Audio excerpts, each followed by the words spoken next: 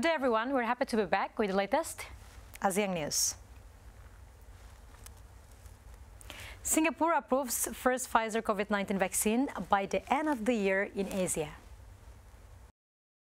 Singapore became the first Asian country to approve Pfizer BioNTech's coronavirus vaccine and it expects to start receiving shots by the end of the year. Prime Minister Lee Hsien Loong says in a national broadcast he will be among the early recipients in the city-state of 5.7 million people, which has one of the lowest fatality rates globally from the coronavirus. The government says it expects to secure enough vaccines for everyone by the third quarter of next year. The Health Sciences Authority, HSA, has approved the Pfizer BioNTech vaccine for pandemic use. The first shipment should arrive by the end of this month, making Singapore one of the first countries to obtain this vaccine. We also expect other vaccines to arrive in Singapore in the coming months. If all goes according to plan, we'll have enough vaccines for everyone in Singapore by the third quarter of 2021. He adds the vaccines will be free, voluntary, and given first to the healthcare workers and the elderly. My cabinet colleagues and I, including the older ones, will be getting ourselves vaccinated early. This is to show you, especially seniors like me, that we believe the vaccines are safe. We have decided to make vaccinations free for all Singaporeans and for all long term residents who are currently here. The authority says Singapore also signs advanced purchase agreements and make early down payments on promising vaccines candidates, including those being developed by Moderna and Sinovac, setting aside more than 1 billion Singapore dollar or 750 million 621,100 US dollar for shots. So far, 29 people have died from the disease in Singapore. Most of more than 58,000 coronavirus cases in the city-state occurred in cramped migrant worker dormitories. An earthquake in Mindanao, Philippines with magnitude 6.2. Linog, linog, ah, silan. Relax mo ha. The German Research Center for Geosciences says an earthquake of magnitude 6.2 struck Mindanao in Philippines. Philippine Institute of Volcanology and Seismology says on a Facebook alert that the epicenter about 16 kilometers in depth just 86 kilometers south of Sarangani in Davao Occidental in Mindanao region at around 7.21 am.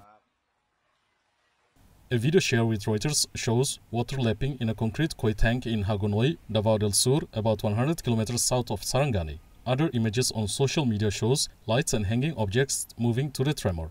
Based on the preliminary seismic data, the quake should have been widely felt by almost everyone in the area of the epicenter. It may have caused light to moderate damage.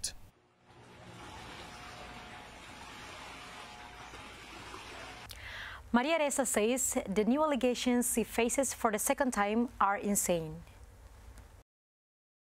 Maria Angelita Ressa, a Filipino-American journalist and author who heads a Philippine news website known for its tough scrutiny of President Rodrigo Duterte, refused to enter a plea in the second cyber libel case she faces, as she says the charges against her is ludicrous.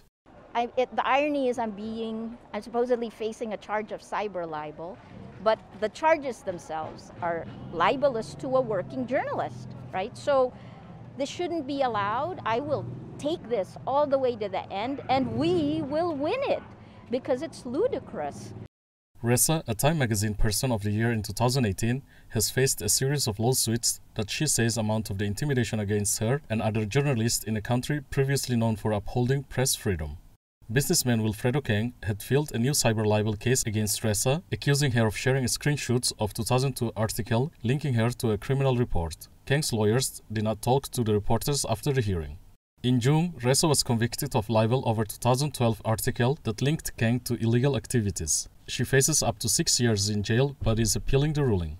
She also facing several other cases, including tax offenses and violation of foreign ownership rules in media. She has said the cases are a form of harassment due to her news site critical reports on Duterte's bloody war on drugs, during which more than 5,900 suspected drug dealers and users have been killed in anti-narcotics operations. Japan registers new COVID-19 cases in high critically ill condition. Japan reports high of severely ill patients with the coronavirus as new cases continues to spread across the country, according to data cited by Japan Broadcasting Corporation, popularly known as Nippon Hoso Kyokai. The country registers 2,431 new daily cases and 53 new deaths as of 2030 local time, bringing the total tally to 184,743, with the death toll reaching 2,702. Japan now have 592 COVID-19 patients in critical conditions, the highest since the epidemic outbreak in the country. Prime Minister Yoshihide Suga announces that Japan will halt its domestic travel subsidy scheme known as Go-To from December 28 to January 11. Catholic Church in Indonesia decorates Christmas trees with masks and hand sanitizers. A Catholic church in Indonesia decorates the Christmas tree with protective masks and hand sanitizers as a way to spread awareness of COVID-19 in the festive season as the country's daily death toll hit a record high. Marcus says the tree makes with intention of making people more aware of the importance of maintaining health protocols. Marcelinus Harriswanto of the parish of the Catholic Church of Christ the King in Indonesia's second largest city, Surabaya, tells Reuters, starting with a bamboo skeleton, the church's followers and the local Muslim community decorates the tree with hundreds of colorful donate masks and hand sanitizers.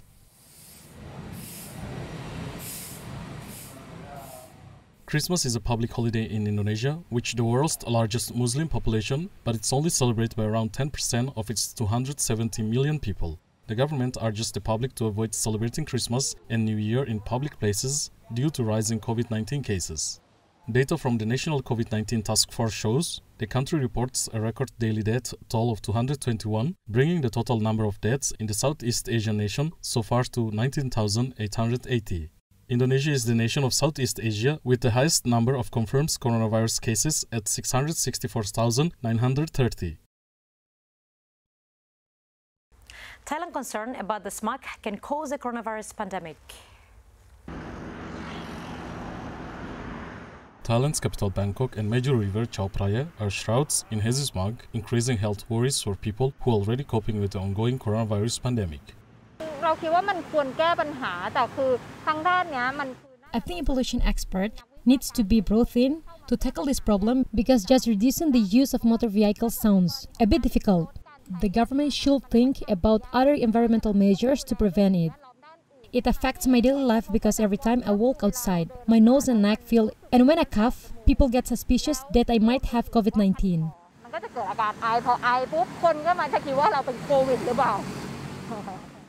According to the Bangkok Metropolitan Air and Noise Pollution Office, 13 districts in the city are affected, with its midday air quality readings ranging from 38 to 116 micron cubic meter. The office says it expects levels of the dust particle PM2.5 to drop, but expect they will still exceed the healthy level. Spells of polluted air in Bangkok, usually worst during the dry season every year, attribute to rapid urban development as well as agriculture burning in surrounding provinces. A hundred Santas take part in a parade against child abuse in Tokyo.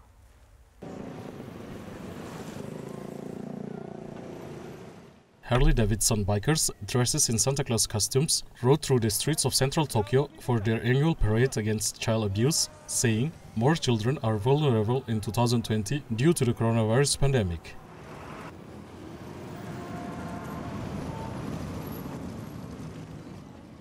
The parade, followed by a toy run to donate toys to kids, is a global tradition around Christmas time. In Tokyo, the event is held by members of Harley Santa Club, founded in 2008.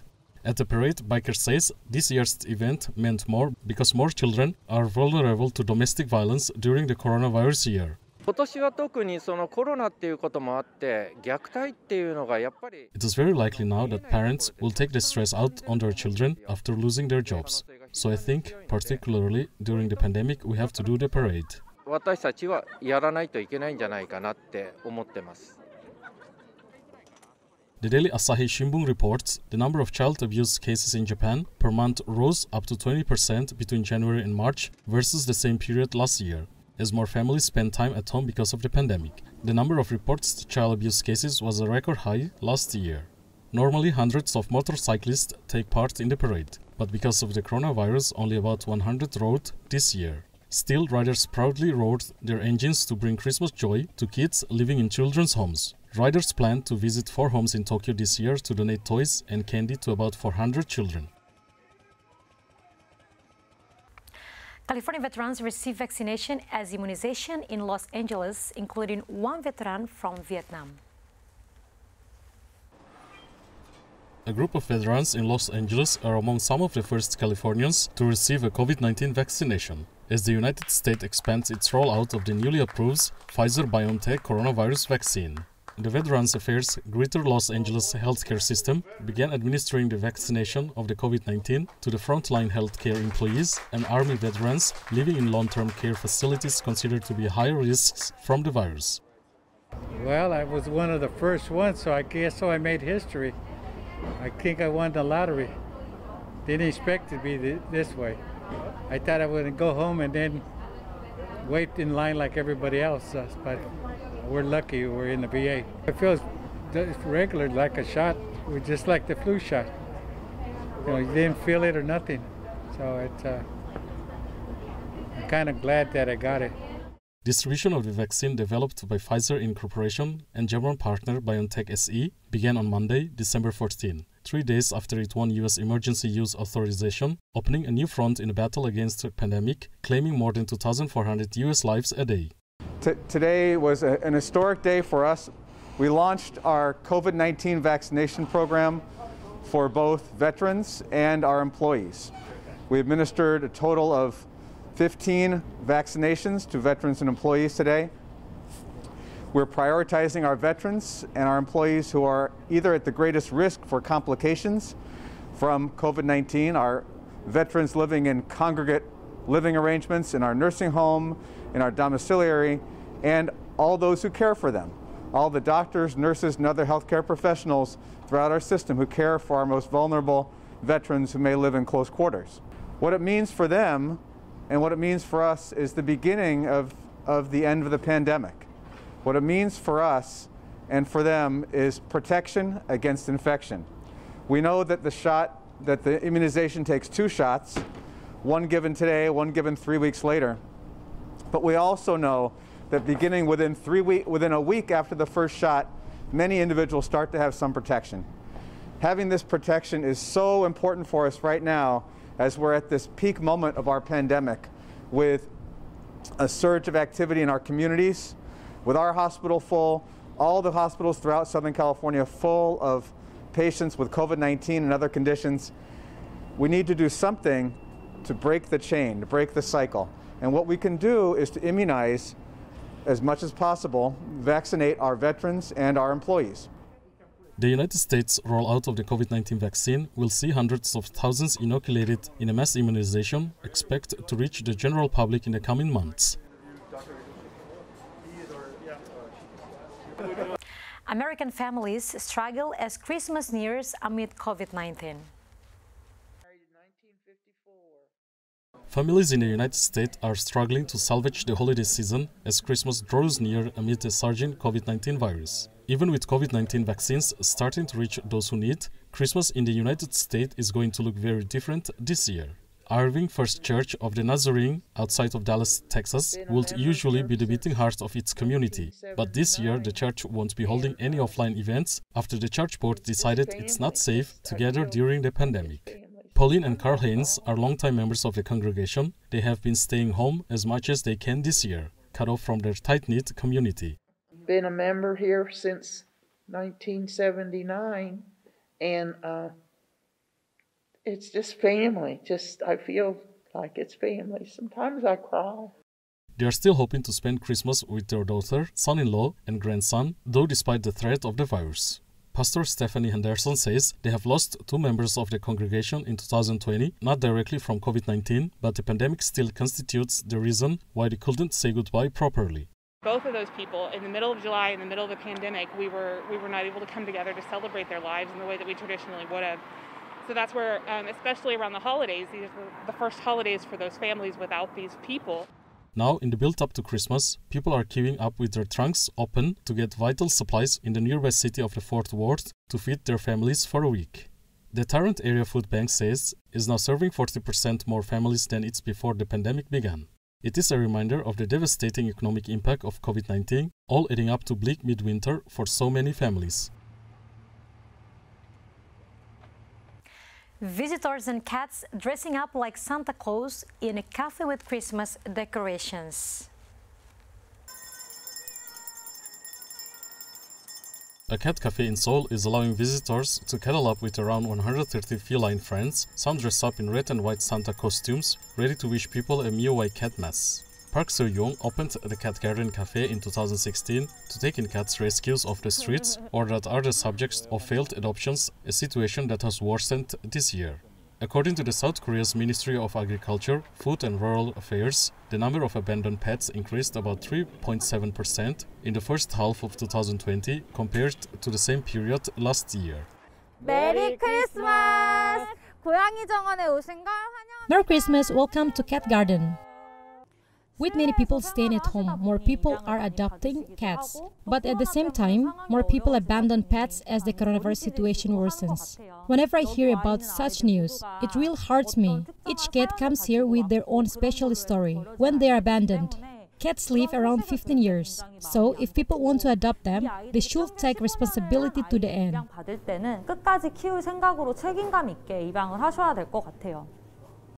Some visitors says the concept is helping boost spirits amid the latest wave of the coronavirus pandemic. Especially this year, it is hard to feel the festive atmosphere, but it was great to see cute cats wearing Santa suit and feel like Christmas is nearing.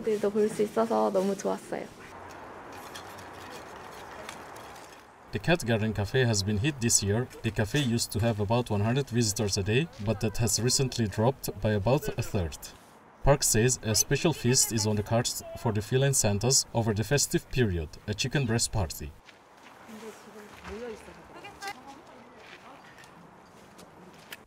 And that's all for today. Have a happy holiday, enjoy, stay safe, and see you.